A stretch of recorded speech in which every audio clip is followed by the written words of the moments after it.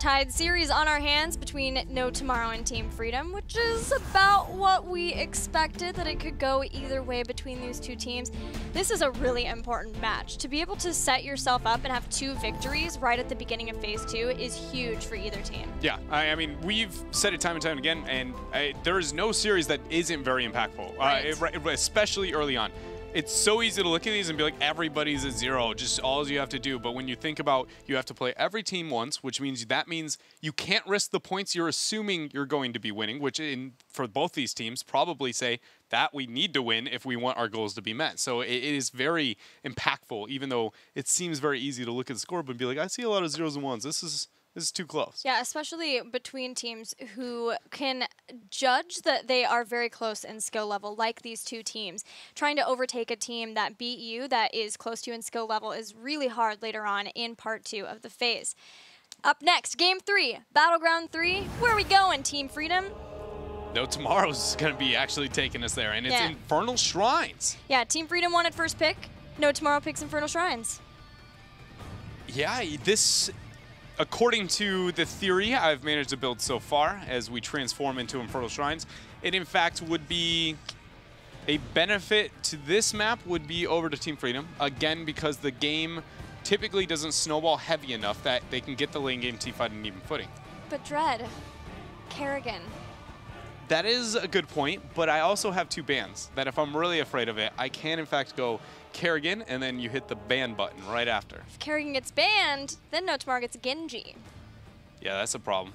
You, you gotta, you know, it turns out when you're good at multiple heroes, it's actually really hard to target ban. Yeah, I No Tomorrow picked this battleground. It was the last battleground that they were able to win and beat Superstars over. They looked good. I feel like this was the most, the strongest that they looked out of all of their games versus Superstars was on Infernal Shrines.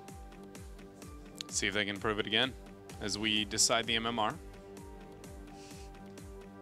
Give me a moment. Tense moment right here between these two teams. There we go. We in fact decided the right team's MMR. We figured it out. We know the left teams. Who's the banners? Here we go. Um, freedom. So what do you do then? We've already learned Abathur is not something to be concerned of on Towers of Doom. The fact that we saw zero attention to him makes me just go, this isn't a thing for these squads. So I'm not I'm not worried about that. Dehaka still can show itself. The Kerrigan is there. And the Genji, where does he end up falling? Because we did see him first pick quite consistently for both of these teams, even on maps where he doesn't necessarily accent the objective, like Infernal Shrines. I would like to see Freedom's D.Va again, if it's not banned or taken away. Ooh, I was staring at a TV that wasn't even working properly. I don't know why. I was just kind of. This is what I do in the middle Admiring of the a game. Actually, logo. I commentate on this, and then I look to Gilly and have the conversation. And yeah, you guys sneak peek here. yeah, forget. Backstage tour I can't. I can't escape the camera. It's always on me, even in trap. Genji's the first pick, D.Va ban. and Tass. He's back. Anubarak Uther. Power play here coming out from No Tomorrow. Gilly, I know we, we we dabbled in the conversation about Greymane, but there is not a better map other than maybe Battlefield of Eternity for Greymane. I really hope to see him in this rotation, and if not, at least at least be paid attention to in this draft. Like if he has no involvement, I'm gonna be one sad panda or wolf, depending on you know where who, you are. Genji, I know I was transforming into Chen, and then I was transforming into Greymane. I don't know. Transformers, Dreadnought in disguise. Oh, Immediately what popped in my head, Rehgar Dehaka. Rehgar Dehaka. Don't mind the Rehgar there. For anybody at home wondering, why do you Rehgar up that high? Malfurion's still available. He hasn't been nerfed yet. Um, it's one of the few maps at level one. You move into Lightning Bond. You have really good shrine control with just you and any other hero. You make both of you very relevant on shrine control. Then you also are not picking Malfurion into what is already a Guardian of the Ancient King on the other side. It's actually not a terrible pick. Plus, you already have two heroes who actually really give value of an Ancestral. Yes, and Team Freedom did this exact thing versus Even and They Death. did it post second It was post second ban Yeah. phase, but Malfurion was still up uh, into uh, the Uther. They also had a Genji. I'm really excited to see Freedom get Genji back. I hope that we get to see Kira's Genji again. It was pretty neat. It, it was pretty neat.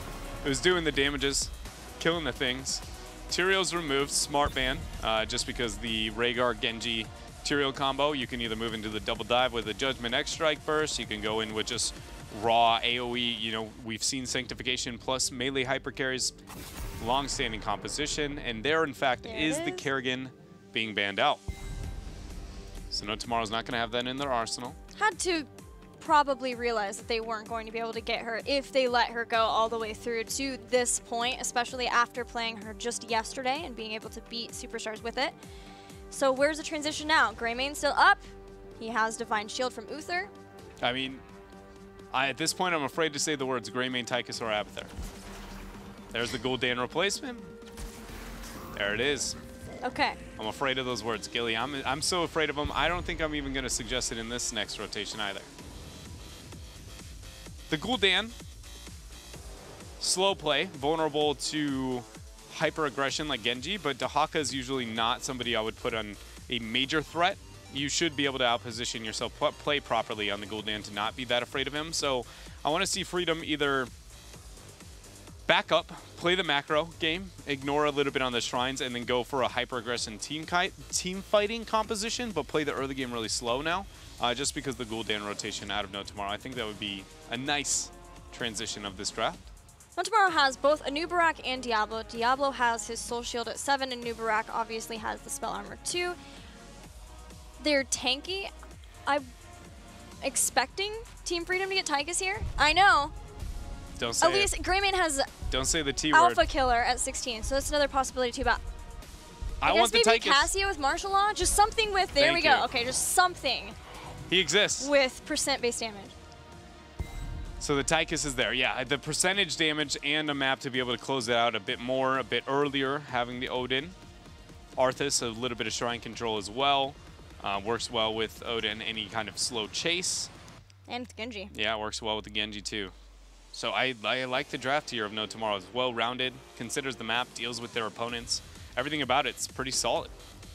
No Tomorrow, not too far off. The Gul'dan Diablo rotation is a bit less common, but uh, we, we've seen these two heroes on this map. We know the impact they can have, and both are pretty good. It's just, I feel like this last pick has to kind of have a lot of oomph, where we go, oh, it all makes sense now I agree. and I'm feeling like I can't think of the other hero off the top of my head that recovers. Like I feel like it's gonna be Medivh, and I go, oh, that's that's what I feel like is gonna happen here. He, you know what? He's here. He's back. He made it all the way through. He, But, but he he's showed here. up. He is here. Greymane. All right. So what does that mean? It means a lot of poke, a lot of shrine control, No no, macro whatsoever on the center of No Tomorrow. Team Freedom, a decent amount of macro, a reasonable amount of shrine control, but they don't thrive on the shrine. Like they don't necessarily just win it flat out. They have to take the fight and they have to be successful on it. So if they match blow for blow on the first two shrines, I give it over to the Gul'dan Dan composition, unless they get a major pick. Like they have to all in, get a pick, then it's like okay, back out. But if they go for the sustain, eventually the Fel Flame will come out. It'll get too much damage, too much value, and they win in the long run. But So- you have macro, you can give up the first two, totally okay. Just got to be comfortable realizing the objective on Punishers is just a little bit too weak. So what you want from Team Freedom Yes. is to get ahead in the early game versus yeah. Gul'dan. Yeah. I. Yeah. Just throwing it out there. Just you're not. Now that you put it in that sen- like in that form, it sounded a lot better in my version. But you are right. That is a poor request to ask here of Team Freedom, not characteristic of them at all. I believe. Let's see it. Game three. We are ready. Between Team Freedom and No Tomorrow, we are all tied up in this series as we head into game three. I You ever just say something and then panic that it was wrong? Like I say game three and I'm like, what if it's four? I actually do that about um I'm gonna put it as solid coin toss level of words I put out on the mic. I in fact go, was that right? I know I'm, I, I I know that sounds like I'm joking, uh, but I actually it's more frequent than you would expect for a dude who comes off as rather confident, just based on the fact that I, I, I don't know. I have this thing where I'll just be like, I could look at, I could be like 20% slow on this spell 50 times before this cast, and I go ahead and throw out 20, and I'd be like, but what if? What if not? What if it's 15? What if it's 15? it's 30? What if in fact it's 25? I do the same thing. Dash. Nasmus has taken Dash on his Tychus. We've talked about Dash before, its capabilities, especially on Battlegrounds, where you can get the globes pretty quickly. This is a rotation Battleground, so Nasmus should be able to get those globes fairly quickly to finish out that quest. I like what we see out of laning phase already from Freedom. They're going to commit Rehgar, Dehaka, cycle out the wave, use the global to rotate through on top, and then heavy commit their four-man um, through mid and through bottom. It's a big power play. It should give them uh, about a 30-second window of an advantage. But look at the counter response. Anubarak automatic, automatically went top to actually get the kill. Kira shows up too. Nasmus rotating. Love the adjustment. Just on the fly there, coming out from, uh, excuse me, no tomorrow. The fact that Freedom played a very predictable early game. And they're just like, well, maybe we can do something, get a pick, lock it down. It just, you don't look at Greymane, uh, Greymane, I guess, uh, but Gul'dan comps to go like, yeah, we're going to get the level one pick, but some form of aggression and trying to make sure Freedom doesn't manipulate the map too freely. Yeah, it's cool to see No Tomorrow go out into the two and then be able to go back to mid. And now they've found Collusion. Mm. Equinox continuing to body block Collusion.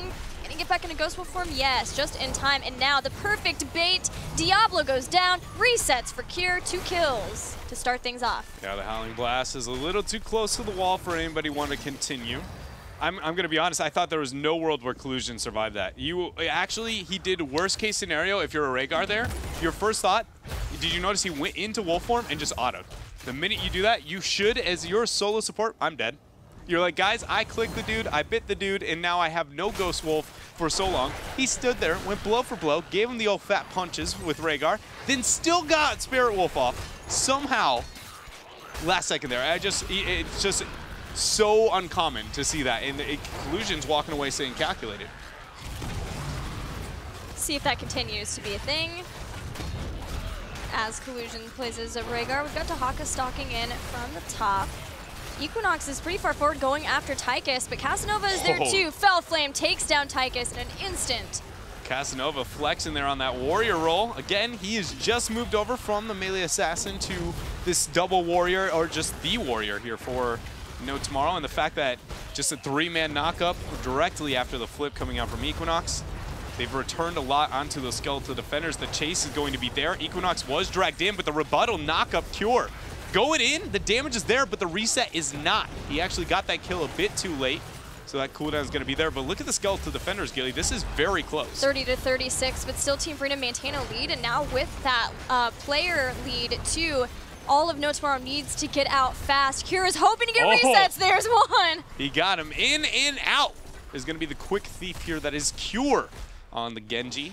Nice and flashy there. Yeah, that was exactly what I was talking about in the shrines, though. The fact that No Tomorrow even was close, think about it. Freedom had a pick very early on, then committed to the actual shrine, and still No Tomorrow was like, guys, we are only, what was it, three skeletal defenders away from getting the Punisher ourselves. Team Freedom makes it work, and with the global, furthers their advantage, maybe more than they should be able to here early on. And, you know, what I asked of them is almost exactly what we've gotten so far here from Freedom. And it does require Team Freedom to continue to keep on the pressure and make sure that their rotations are strong yeah. to those uh, Punishers, the Shrines, so that they can get there and get the advantages they had there too. Otherwise, they go in without the advantage, and then they're trying to force a fight. No Tomorrow could just back off and just play the sustain, poking game. Yeah, play that sustain game that almost paid off even at the last second, being a man down. But no Tomorrow, was punished properly. They pick up the Shaman Camp for themselves. It's not going to be time with the objective. Dehaka should have pretty easy clear on that as well. Arthas is already making the transition out, so no tomorrow here. I would like to see, you know, capture a camp with a purpose. Not just the camp, pretty much anything with a purpose. Oh, man, that was so well done. Ah, but Cure still has Swift Strike. It's so hard It turns out capture a Genji. you have two gap closers and you can be immune to all damage. It's really hard to die. Still, though, Casanova was there with the response, too, to hit him after deflect. I had hopes, maybe, that we'd get to see the gank work out for No Tomorrow, but no dice. No dice here. Shaman Camp timed a bit closer to the objective on the side of Freedom. They also have the global, so whenever you have the global, it gives you a bit more breathing room to capture it out, just especially if you win the 1v1 matchup. Uh, Greymane into Dehaka, it's a bit more of a, wow, that initiation. Nasmus just got bodied up there through mid, and they're not done. Another suplex over. Equinox tipping the scales over into No Tomorrow's favor here. Yeah, we have to remember that Equinox, although he's been known for being a melee player for forever, did moonlight as the warrior for Gale Force Esports throughout Moonlight. Phase 1. Hey, that's I love good- that word so much. It's a good way to put it. But yeah, the uh, synergy between Equinox and Casanova, I felt like we got a taste of that yesterday between their Nubarak and Kerrigan. And now with Equinox shot calling, the fact that he can go in, be like, I want you to kill this target, this one right here that I'm setting in front of your face, Casanova, follow up, is has been really good so far, and that has caught No Tomorrow up to Team Freedom. So let's see what No Tomorrow does. They actually are banking on the 10 fight here. So see the Rehgar and Genji moving up. That is, again, worst case. You're down 23. You don't win this fight unless you 100% all in right now, and they're going to go for it. If they fail this, they lose this Punisher. Yeah, they've even committed to Haka stocking up, so it's go time. And as we said, No Tomorrow has already gotten ahead, so they can back out, get ready to go back in, poke here and there between Greymane, between Gul'dan to see if they can find an opening for either a kill or just to steal away some of the skeletal defenders. Team Freedom are running out of time. If Freedom was going to do this, they needed to do it a half a wave later. They would be at the 10 mark now, but by committing that early on, they just essentially don't have that major advantage. They didn't have enough time into their favor, and we see, again, what we tried to highlight a bit earlier onto how these shrines should play out. And now Freedom is going to have to retreat, get the defense out, and now play a slower game. No Tomorrow is going to be looking to aggress, hopefully try and force a fight pre-10, but it's going to be unrealistic for them now, and a front wall is about as good as it gets here on this Punisher. Heroic abilities coming in. X Strike for Genji. Really? For APOC is the only thing I can really see with the assumption that Apocalypse is coming in. When Apocalypse is thrown down, much like meta, you X strike, you dodge it. Nice Oh, curse um, bullet. Man, that Odin just got wrecked. Nasmus is already down. Team Freedom still hoping that they can fight, despite the fact Drag hits Casanova, Collusion, and Zugrug there to get the kill. Wow, that ancestral onto the horrified target of Cure, allowing him to keep himself up. And now he is going to do so much work here into this fight. Jason with the disengage. He has no mana. The Howling Blast should be the beginning of the end. Nice peel from Equinox. Dansky with the rebuttal drag. And Uther here is di dished out by No Tomorrow. They are going to retreat successfully. Equinox is so tanky right now as Diablo, even withstanding a lot of damage. You have to drag too, but a lot of that too was that Tychus was not there to add to the damage. Yeah, he is a bit of a beefcake McGee up there, huh?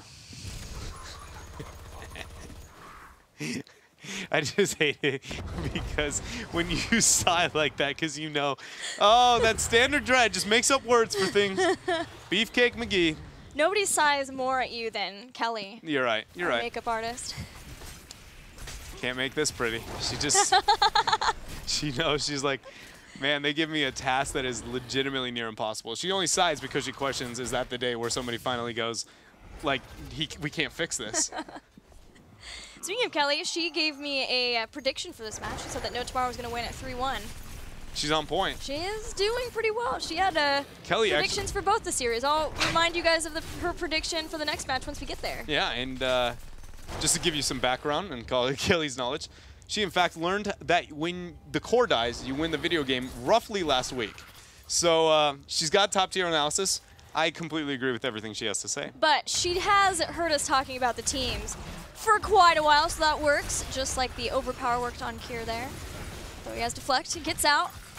Both teams are here, but No Tomorrow has a good start on the shrine again. Hits up, Oh, the Equinox goes in. The damage, so much pressure on a Zugrug. Cure dropped the X strike, but nobody's going down. There's the Apocalypse hitting three members, but look at Dehaka in the front line. The stun is there, and he is down. Now Zugrug looking to get the retreat out. The body blocks from Tiger JK are beautiful. He costs him his life, though, and with that Ancestral, he may be regretting that choice.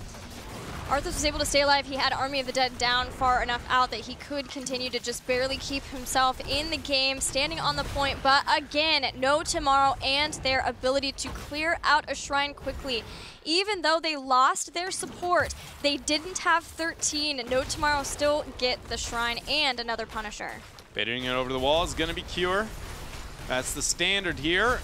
13 talent tier out of reach, though. What is No Tomorrow going to do? They need to find a way to open up the map. I mean, Gilly, this is the third Punisher we've gone through here, and again, we're yet to see a fort fall. That's not totally unheard of. The first two it's usually like you're like, a, oh, you know, the fort isn't going to fall too much here. But by the third is normally we're like, okay, you may not get the fort, but at least you're going to take that brawl around it and open, you know, or at least get those type of pressures. But it's still a slow, patient game for both of these teams. Yeah, Genji doing his best to try to bring down that bottom fort that is really low for No Tomorrow. But a lot of this has been too that Team Freedom, every time they know that they have been able to deal with the Punisher because No Tomorrow has lost somebody or No Tomorrow doesn't want to get aggressive with their Punisher because, like in the last instance, they are down a talent tier, it allows Team Freedom to immediately send Dehaka somewhere, to be able to push out a lane, soak, and in that for that reason, No Tomorrow has not been able to even push somewhere else. They just push along with the Punisher, so it has been a slow, patient game for both of these teams as we head into the later stages of it. You know, it's it is uh, interesting how it has managed to play out here. The double shaman's going to match up on top. See Tiger there trying to abuse Fog of War. Hoping somebody makes a mistake of overextending, but members of No Tomorrow are going to give up. They're going to forfeit the Shaman battle that is up on top. Typically when you see teams do this, it's going to be with the intent to gank on a different lane. They choose mid, but Cure is in fact a Genji. And the other lane that you can gank is a Dehaka.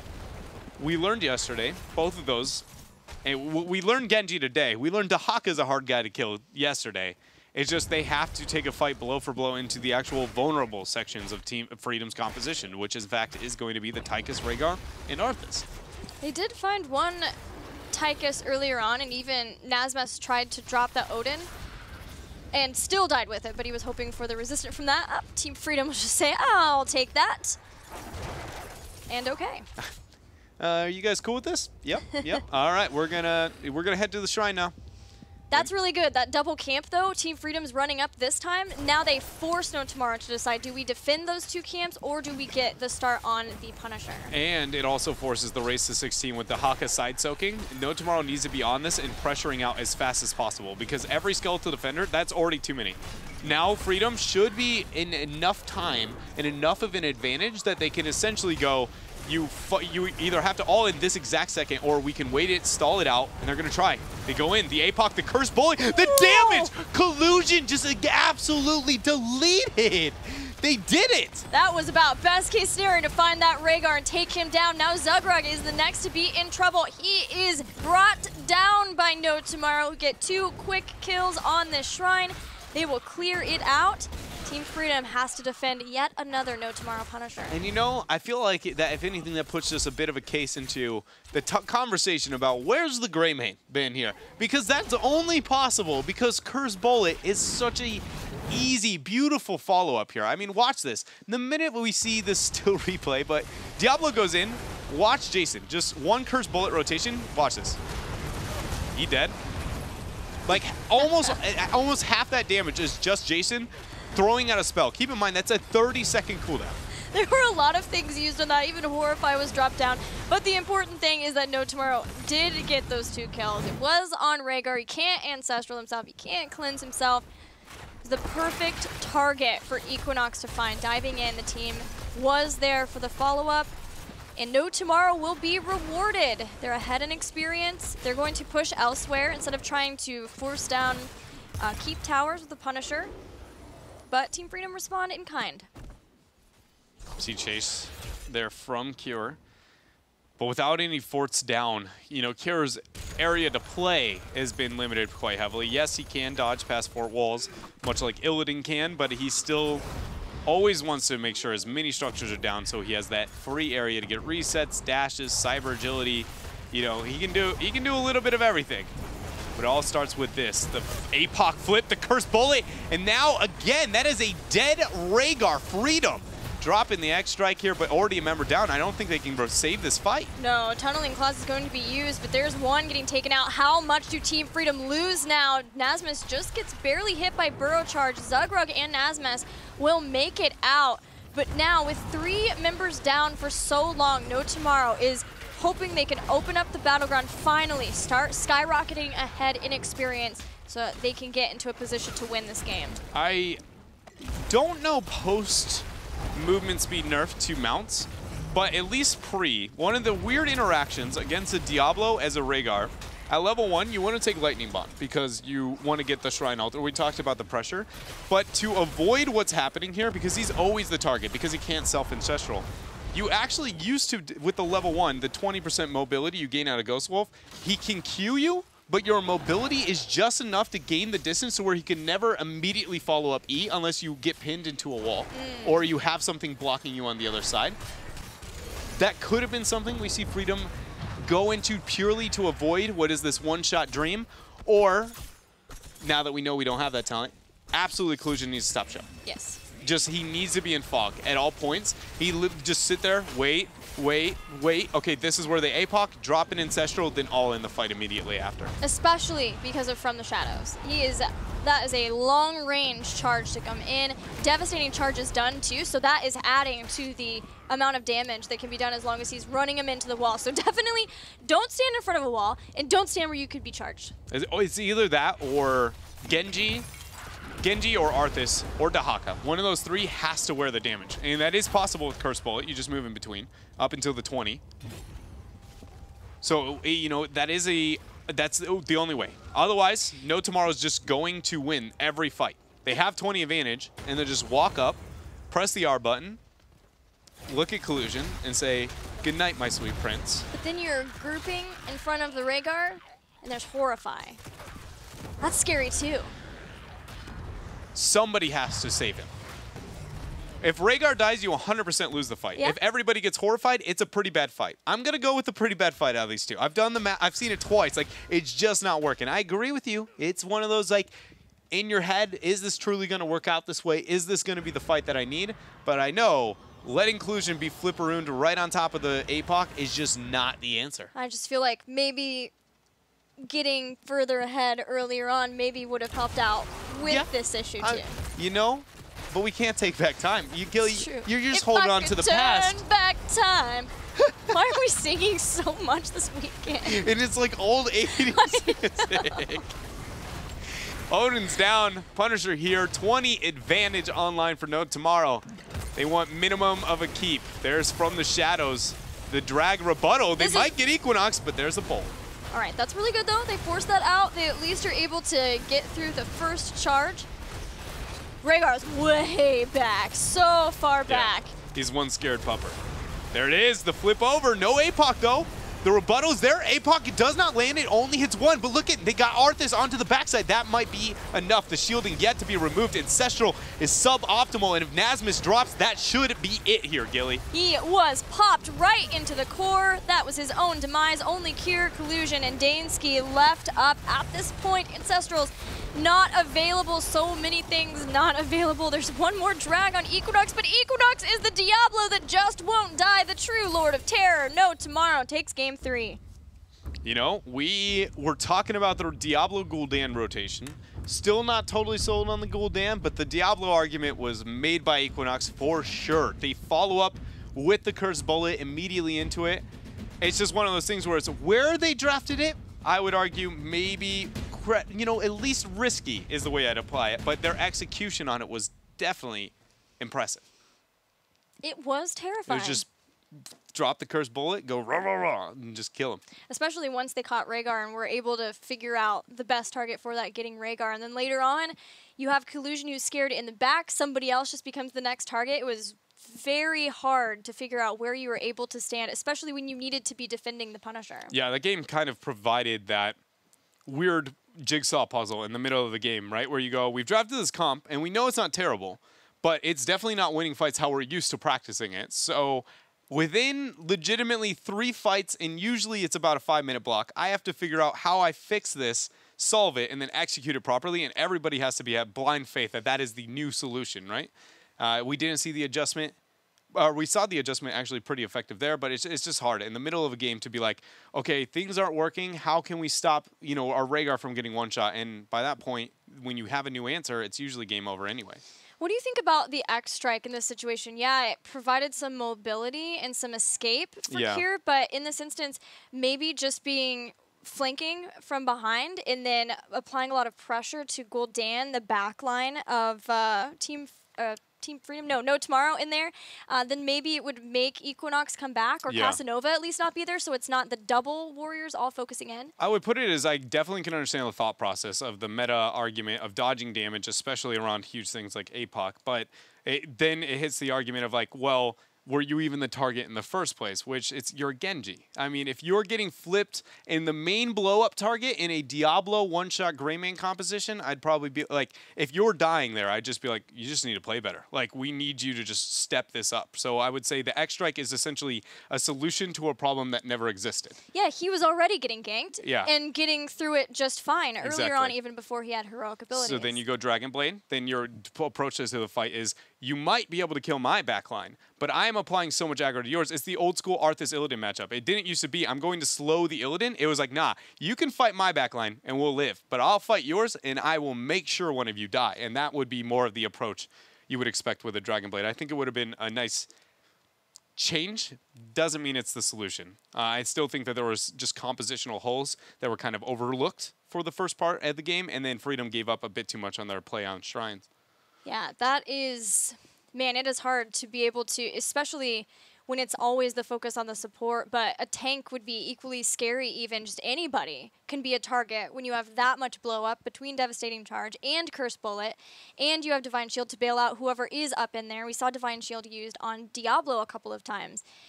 It was it was well done from No Tomorrow, very well executed. Yeah, it was clean, and now I want more Greymane.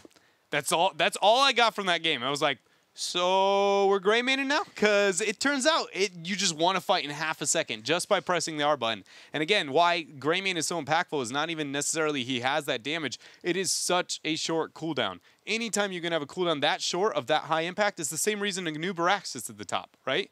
It's just Cocoon. I you can be new to the game and still be good with Cocoon. Literally never played a game of Heroes of the Storm in your life. You touch the keyboard with your mouse over somebody and you've isolated them for like 20 seconds. Same with Curse Bullet. 35% of their max health just pew gone. Well, current this is a current health, yeah? by the way, not max.